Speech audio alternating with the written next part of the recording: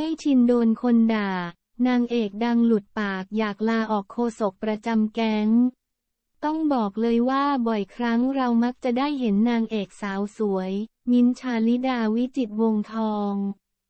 ออกมาให้สื่อสัมภาษณ์หรือตอบคำถามเรื่องของเพื่อนๆแก๊งนางเอกเฟอร์บี้อยู่ตลอด ทั้งที่ไม่ใช่ประเด็นอะไรที่เกี่ยวข้องกันกับเธอจนหลายคนยกบทบาท โคศกประจำแก๊งให้กันเลยทีเดียว งานนี้สาวมิ้นถึงขั้นเอ่ยปากอยากจะลาออกจากตำแหน่งนี้บ้าง เธอบอกว่าทุกครั้งที่ต้องคำถามแทนเพื่อนเธอก็ตอบเท่าที่รู้ เพราะบางเรื่องเธอเองก็รู้กันพร้อมกับสื่อ แน่นอนว่าทุกครั้งที่เธอออกมาพูดก็มีทั้งคนที่เข้าใจ และคนที่ไม่เข้าใจ